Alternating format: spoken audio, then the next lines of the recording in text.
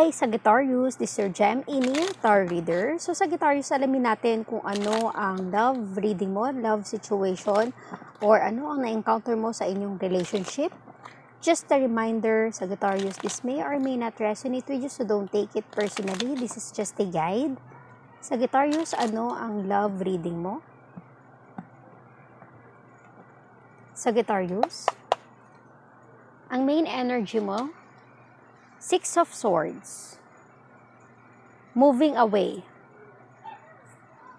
from something or from someone. Parang you're moving away from something na hindi na nagbibigay sa'yo ng happiness and motivation or love. Parang you are now ready to move move on or move forward sa iyong buhay. Tingnan natin ang reading mo sa Sagittarius, Three of Swords, Ten of Pentacles, King of Swords, the Hierophant, Four of Cups, and the Emperor. Ang involved sa iyong energy, mayroong sign na Aries at Taurus. Ang tingin ko, Sagittarius, you're still in pain. Kasi you thought, akala mo, ito na yung person na para sa'yo, yung makakasama mo habang buhay, yung magbibigay ng happiness and fulfilled life sa iyo. Pero at some point, hindi natupad yung mga nais mong mangyari. That's why you're in pain and you're now in the moving on process.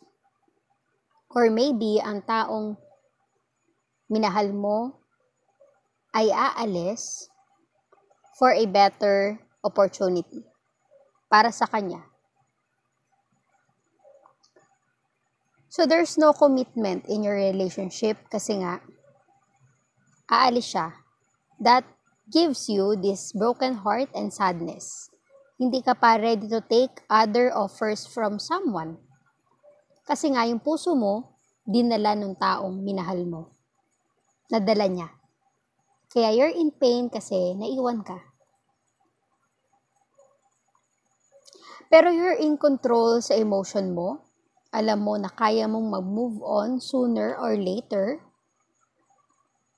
Kasi you're still strong Sagittarius. when something or someone not giving you the kind of love na ini-expect mo, you are ready to move on because you're in control of your emotion. Pag so, so much expectation ang nilaan natin sa isang tao, too much pain ang ibibigay niyan sa atin. Kaya kung sobrang expectation yung inantay mo sa taong ito. Normal lang na masaktan ka. Pero, just move on. Move on with your life. Kasi alam ko na you're strong enough, Sagittarius. Journey. You have to take time travel, unwind, move forward. Journey is a kind of energy na you have to move forward, go on with your life. Huwag mong hayaan na yung mga opportunity sa'yo, eh magiging hadlang ang nang iwan sa'yo.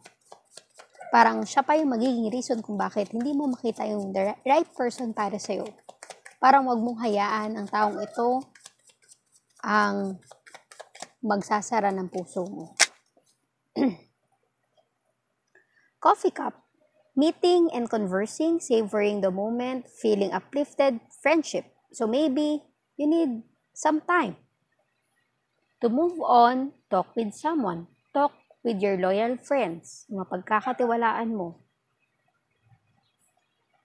Take time to unwind. Wag mo sobrang stressin yung sarili mo sa taong nang iwan sa'yo Kasi hindi niya yun deserve. You deserve much, so much better. You deserve a kind of person na willing, willing to take